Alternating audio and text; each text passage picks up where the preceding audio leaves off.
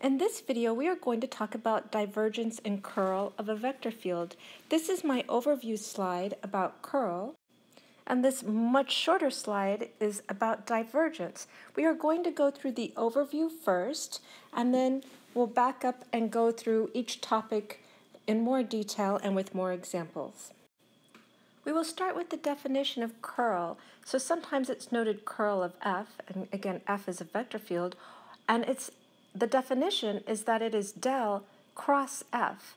So for example, if f of x, y, z is equal to x, x, y, and 1, del, if you recall, is d dx, d dy, and d dz, the partial derivatives with respect to the first, second, and third variable. And then the cross product will take the i, j, and k vectors, direction vectors, and then on the second line, we'll have the partials, ddx, ddy, d dy, d dz, and on the bottom line, we'll have f, our definition of f, which is x, x, y, and 1. We do the calculation, and in this example, our curl is equal to 0, 0, y. Curl is associated with rotations. You can think of this paddle wheel. If it's going around this circle, if the paddle wheel itself rotates, so I have these two arrows, one pointing up and one pointing I guess that would be what? East. As we go around, you can see that the arrows now kind of rotate. So the paddle wheel itself, which is the circle, is sort of circling as well until finally the, the arrow is no longer pointing up, it's pointing down and it's pointing west, and then it comes around and it circles. So those are the rotations. If a vector field represents the flow of a fluid, then the curl equals zero means at, at a point P means physically that the fluid is free from rotations at that point. In other words, it has no whirlpools. A small paddle wheel placed in the fluid will move with the fluid, so it'll still move in the circular motion, but this orientation, where this arrow is pointing up, it'll stay pointing up all through the circle. And if curl of f equals zero, we say that f, the vector field, is irrotational. It doesn't cause anything to rotate we have this important theorem. The curl of any gradient is zero. So in other words, if you take the gradient of a, a function f, and then you take the curl, it should equal zero. So for example, verify the vector below is irrotational at each point and not equal to uh, at each point not equal to zero, zero. So we're not looking at the origin. Note that this is the velocity field this one, this equation here, approximating water in a circular motion such as occurs when you pull the plug out of a tub of water. So this is um, an equation that we talked about in our previous video when we talked about vector fields and I had that lovely illustration of a tub with water. When you pull it out, it kind of circulates. The water circulates. You've seen that water circulating in a tub when you drain the tub. Even though the fluid is rotating around the drain in this way, if the uh, curl is equal to zero, except at the origin, then the paddle wheel, as I said, the orientation will stay up. It won't rotate. So let's look at this V. When we take the curl of V, we have the i, j, and k direction vectors. Then we have ddx, ddy, d dy, d dz. Then we have our first coordinate, which is x, x squared plus y. Our second coordinate, minus x over x squared plus y. There's no third coordinate, so that will be equal to 0. We do the calculations, and we see that the curl of v is equal to 0. So this, again, the circulate, um, this pulling the plug out of a tub and you have the water circulating, it actually has no uh, rotation associated with it. This next example is an example of this theorem that says the curl of any gradient is the zero vector. So the curl of anything that's a gradient is equal to zero. So we have let v of x, y, z equals y negative x, zero. Show that v is not a gradient field. So according to this theorem, if it is a gradient, if v equals gradient of some function f, then when we take the curl, it'll equal to zero. So let's look at the curl of V. So we have our ijk, our ddx, ddy, ddz, and our v is y minus x, 0. When we do the calculation, we get minus 2. So in other words, we didn't get 0. So that must mean that v is not the gradient of some function f. Oh, and here's that note. This is the example we had looked at when we in our previous video about vector fields. So this V represents rotary motion, such as the motion of particles on a record player. The flow lines for the vector fields are circles about the origin, but this velocity field has a rotation. and such a flow, a small paddle wheel rotates once around the origin, as in this illustration here. Now we are ready to talk about divergence. So the divergence of F is equal to the del operator dot F. So for example, if F is equal to x squared y, z, and xyz, then the divergence is the del operator, which is d dx, d dy, d dz, dot x squared y, z, xyz. So d dx, the derivative with respect to x of x squared y is 2xy. It's a dot product, so we're going to add.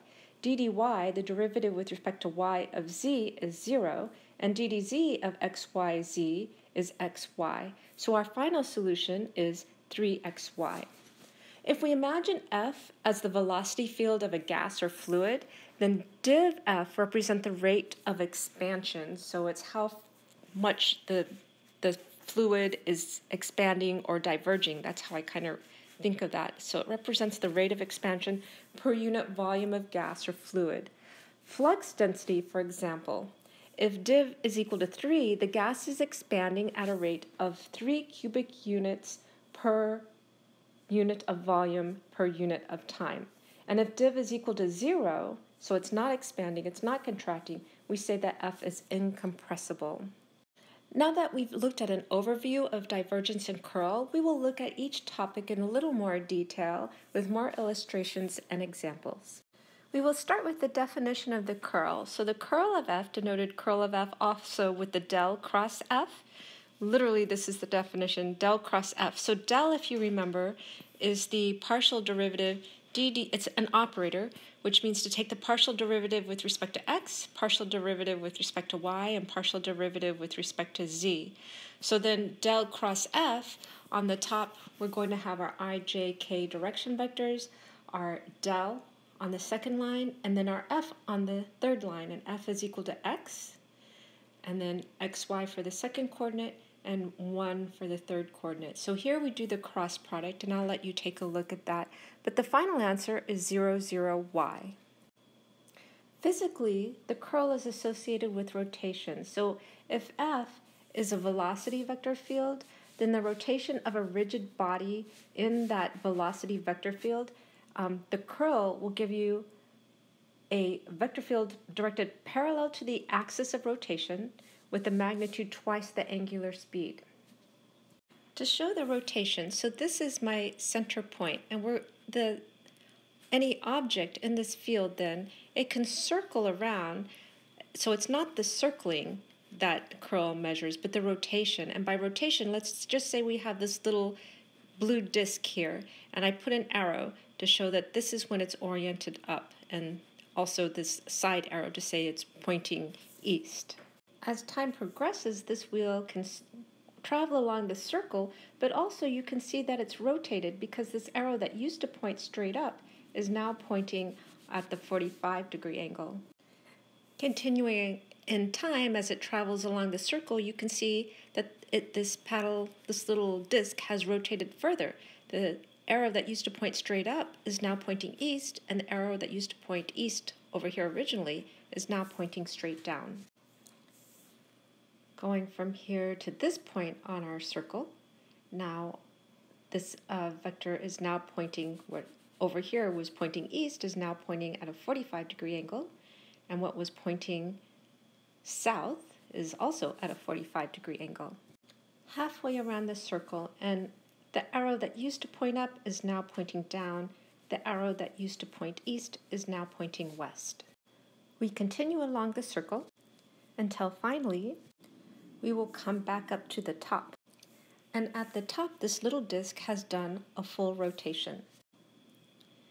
If the vector field F represents flow of a fluid, then curl of F equals zero at a point P means physically that the fluid is free from rotations at P. That is, there are no whirlpools, and a small paddle wheel, such as this disk placed on the fluid, will move in the fluid but will not rotate about its axis, it, this axis being the center of the little disk. And we say that F is irrotational. Here is how the disk will travel if the field is irrotational. And the curl at this point will be zero. We have this following theorem that says the curl of any gradient is the zero vector. This next example is this vector field that we had looked at before in a previous video when we talked about vector field. And this equation approximates water in a circular motion such that occurs when you pull the plug out of a tub of water. And even though the fluid is rotating around the drain, it's not rotating around the axis, so we will show that its curl is equal to zero. So here I have my function v, and then I take the curl of it, and I to take the curl I have the i, j, k direction vectors.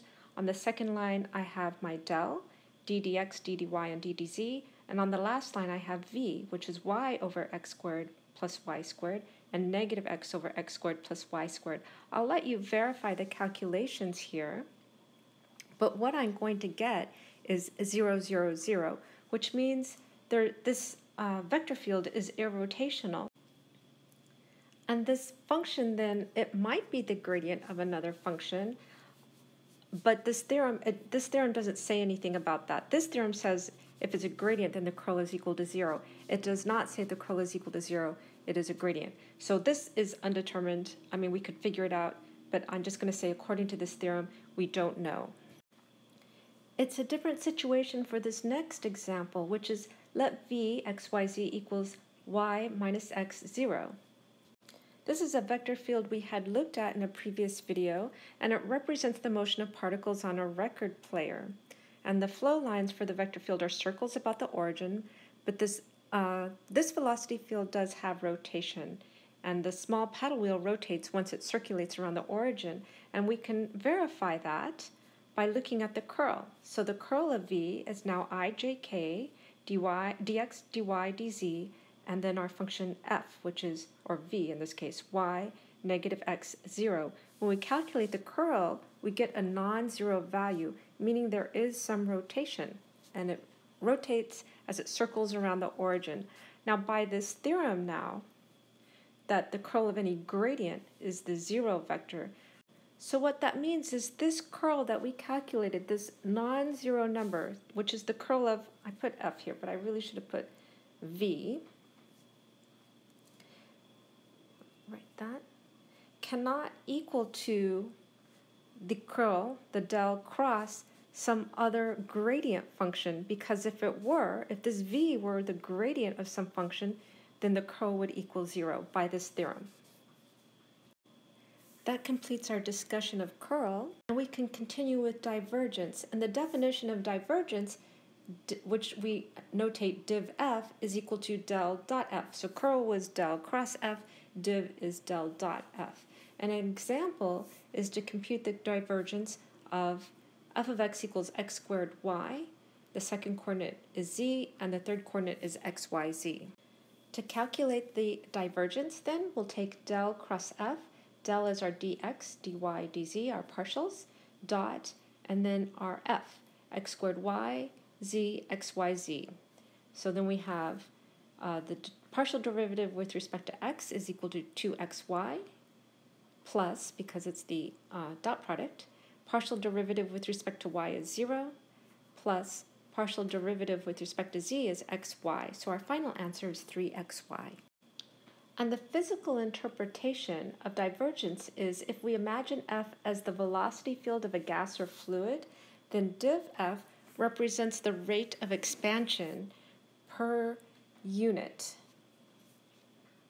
Let's see, per unit volume of the gas or fluid, so also called the flux density. For example, if div F equals 3, then the gas is expanding, and because it's positive. If it were negative, it'd be contracting.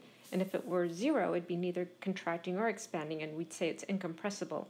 But if it's expanding, and it's expanding at a rate of three cubic units per unit volume per unit of time. The divergence of the curl equals zero. That is, the divergence of any curl is zero. And last, we have the Laplace operator, um, which operates on functions, and it's defined as uh, del squared of f, which is equal to del dot gradient of f, which is equal to d2f dx squared plus d2f dy squared plus d2f dz squared, sort of like a second derivative. Reviewing the topics we have talked about, first we talked about curl, which we defined as the del cross f. And we have this example here. If f is equal to x, x, y, 1, then del, which is the cross product of del cross f would be the ijk directions, the del, which is d, dx, d, dy, and d, dz, and then f on the bottom line, which is x, x, y, and 1. We take the cross product then.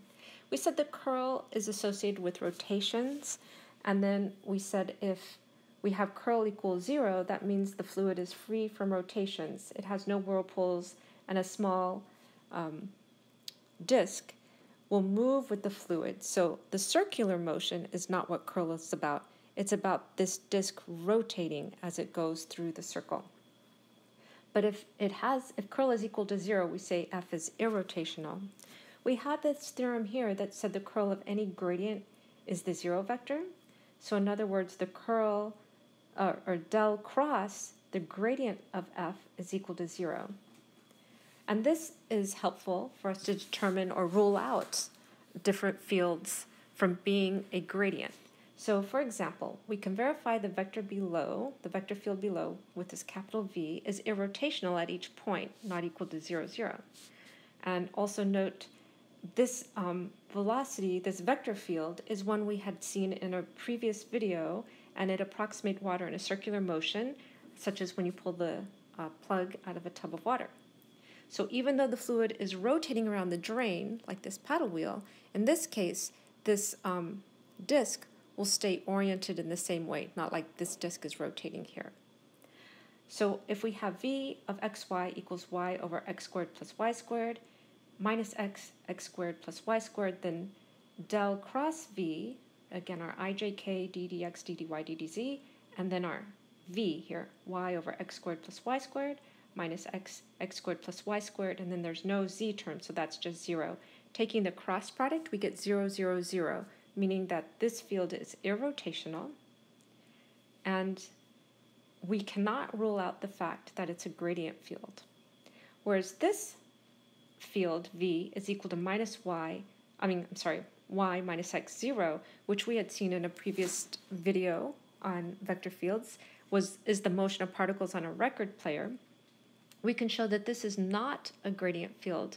We can take the curl, so that would be our ijk, d dx, d dy, d dz, and then our v here, which is y negative x 0. Taking that, we see that the curl is a non-zero. It's 0, 0, negative 2, which means that the curl of this field is not equal to 0, so that means this field is not a gradient. We also talked about the divergence of f, which is uh, notated div f, which is equal to del dot f. So our example is if f is equal to x squared y, z, x, y, z, then div f is d dx, d dy, d dz dotted with x squared y, z, x, y, z, and our final answer was 3xy. The physical interpretation of divergence is that it represents the rate of expansion. And then if div f equals 0, we say that f is in, in, in, incompressible, sorry. And then we have this theorem, if we have the di divergence of the curl, that's always equal to 0. And last, we define the Laplace operator, which operates on functions. So if we have a function f, the Laplace operator is del squared, which is equal to del dot gradient of f. For review, I have two problems for you to try. The first is to graph the vector field and calculate the divergence of f equals uh, xy and g of xy equal negative x, negative y. Compare or contrast the divergence of f and g. And second, is the vector field f 3x squared z plus y squared, second coordinate 2xy, and third coordinate x cubed minus 2z rotational? I suggest you pause the video, give these problems a try, and when you come back, I'll have solutions for you. Here are the solutions to the two problems. And that is it for this video. Thank you for watching.